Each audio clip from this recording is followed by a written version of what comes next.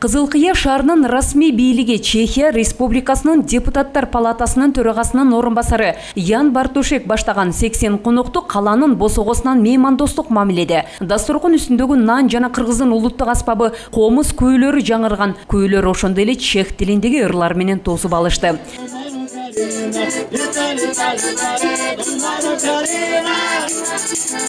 Чехия республикасынан келген делегациянын шаарга болгон сапары алгач администрацияга карай жол алып анда ян бартушек жетектеген расмий өкүлдөрү менен кызыл кыя шаарынын мекеме ишканаларынын жетекчилери укук коргоо органдарынын башчыларын калаа башчысы тааныштырып өттү Делегациянын курамында чехия республикасынын депутаттар палатасынын төрагасынын орун басары ян бартушек чехиянын кыргызстандагы элчиси рудольф гекл элчинин орун басары йозеф багач жана чехиянын кыргызстандагы ардактуу консулу марат жаанбаев чехия республикасынын коргоо министрлигине караштуу департаменттин директору павел куглер коргоо министринин кеңешчиси филиппек. Андан тышкары чехиянын тарыхчылары саясатчылары илимпоздору келишти чтит, а биринчи дүйнөлүк согуштун жыйынтыгы менен тилекке каршы ата бабаларыбыздын көпчүлүгү кыргызстандын аймагында жерге көмүлгөн чехия республикасы келечекте кыргызстан өлкөсү менен ушул багытта байланышты үзбөстөн мамилени улантуу ниетиндебиз. Делегациянын курамында коргоо министрлигинин атайын дайынсыз жоголгон аскерлерди изилдөөчү эксперттери бар. Алдыда эки өлкөнүн тарыхчылары кызматташа турган байланыштар ишке ашса. Бул жакта көмүлүп калган аскерлерге арнап көрүстөн балким бир эстелик орнотуп белгилеп койгубуз келет.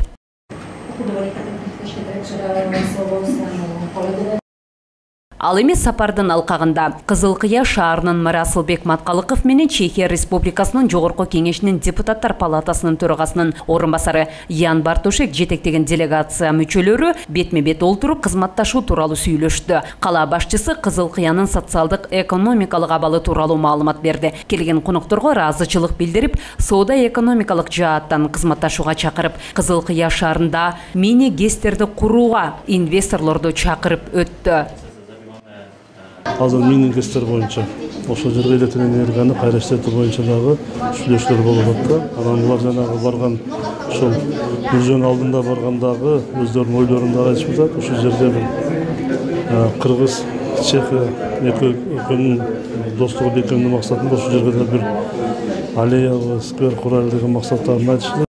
Ал эми ян бартушек шаардын башчысына жылуу тосуп алгандыгы үчүн ыраазычылык билдирип кыргыз элинин меймандостугун жогору баалады. Ал күз айларында чехия республикасында шаар мэрлерин шайлоо өтөөрүн баса белгилеп шайлоодон соң кызыл кыя шаары менен кызматташууга ыңгайлуу болгон чехиядагы шаарды дайындайбыз деп кошумчалады. Келген конокторго кызыл кыя шаарды кеңешинин төрагасы жыргал калматов ыраазычылык билдирип калаа стабилдүүлүктү жана ынтымакты туу туткан шаарлардын бири экендигин белгилеп ишкерлик чөйрөсүндө инвесторлорду тосуп алууга даярбыз деп өз сөзүндө ал ошондой эле кызыл кыя шаарында айыл чарба жана өнөр жай тармагы жакшы өнүгүп жаткандыгын кошумчалады.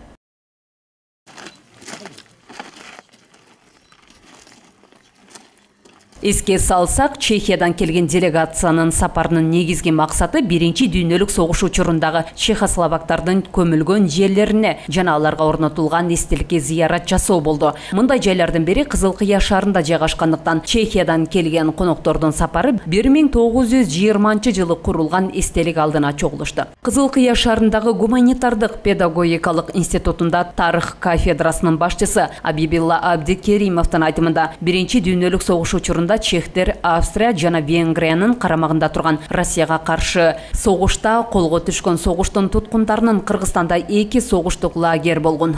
Майда отряддарды түштүктөгү шаарларга алып келип иштетишкен дейт. Аскер туткундары негизинен өнөр жайларын жана жол курулуштарына иштешкен. Оор мезгилде көпчүлүгү оорудан жана тамак аштын жетишпестигинен каза болгондугун белгиледи. Жергиликтүүлөр бул боюнча азырга чейин эскеришет деп кошумчалайт мына чехиянын дел- дел- делегациянын мүчөлөрү азыр келишип өздөрүнүн ата энелерине ушул жерден калып кеткен э, туугандарына гүл коюп атышат ал эми булардын ичинде дагы бар бизде кыргыз чех э, ма- мамилелеринде бизде интергилпо деген э, болгон мына ушул интергилпону биздин кыргыздын адамдары көп эле көп эле билишет себеби ал тарых китептеринде да бар. Ошол интергилпонун да мүчөлөрү азыркы күндө келишип өздөрүнүн ата энелери жөнүндө сүрөттөрүн алар жөнүндө маалыматтарды бизге берип жатышат а сиз тарыхчы катары кандай сунуш бердиңиз эле мен айттым э, ошо интергилпо биринчи жолу э, бир миң тогуз жүз жыйырма үчүнчү жылы бишкек шаарына келген жана ал жерде өнөр жайларды э, ку- курууга жардам беришкен. Себеби ал интернационализм же болбосо кыргызстандагы социализмди курууга жардам катары гана келген өздөрүнүн демилгеси менен келген адамдар болушкан эки миңге жакын адам келген интергилпонун мүчө- мүчөлөрү.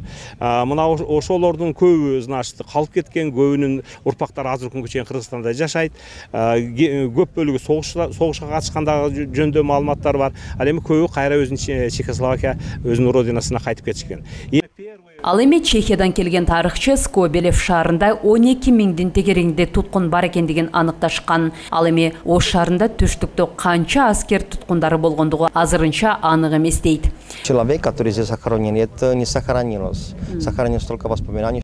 Биз алдыда дагы көп изилдөөлөрдү алып барабыз. Анткени каза болгондор тууралуу так маалымат жетишсиз. Себеби скобелевдеги архивдин жарым бөлүгү петербургда ал эми калганы ташкентте архивде сакталуу турат бирок колубуздагы тизмеде мурдагы туркестан губернаторлугунда он эки миңдей чехтер өлгөндүгү жазылган алардын ичинен жүз элүүгө чукулу кыргызстанда болушу мүмкүн а мен буга чейин май айында бул жерде болдум жергиликтүү тарыхчылар менен сүйлөшкөнмүн ошондой эле өзбекстандагы ири туткундар лагери болгондуктан ал жакта да маалыматтарды алдыда чогултуу аракетин көрөбүз архив, который из Коболева касался, чехиядан келгендердин арасында еженевола да бар. Ал чоң атасынын аскер туткунуна айланган дайынсыз кеткен агасы тууралуу билгиси келгендигин айтат a byl v zajateckém poslední stopa vedla менин чоң атамдын агасы 30 жашында биринчи дүйнөлүк согушка кеткен. Анын жети баласы болгон экен. Бизге жеткен маалыматтар боюнча туткунга түшкөн соң мурдагы туркестан губерниясына алып келген дешет ал 1915 жылда үйүнө жазган катында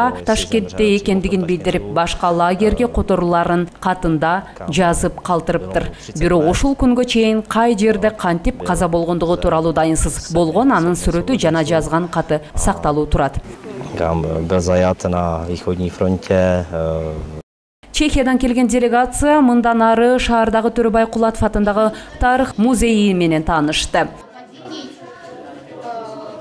сиздердин өлкө абдан меймандос жана кыргызстан жери кооз экен биздин сапарыбыз эки күнгө уланып жатканы менен чехиянын эли жана кыргыз элинин дос экендигин түшүнүп жеттик кыргызстандын геологиялык түзүлүшүнө карап суктанса болот экен. Мында жашаган элге болгон кызыгуум өзгөчө болду. Бир жолку сапардын алкагында бул өлкөдөгү кызыктуу маалыматтарга ээ болгонум аздык кылды. Делегациянын курамында келгениме өтө ыраазы болуп турамын кызыл кыя шаарындагы рудникте жайгашкан бул эстелик 1920 жылы курулган андан кийин бир нече жолу реставрациялоодон өткөн жакынкы күндөрү жергиликтүү бийлик тарабынан дагы бир ирет жаңыланды. Чехия республикасынан келген делегация эстелик алдына гүл коюп каза болгондорду эскеришти алтынай шабидинова мирбек кайымов алтын бешик жаңылыктары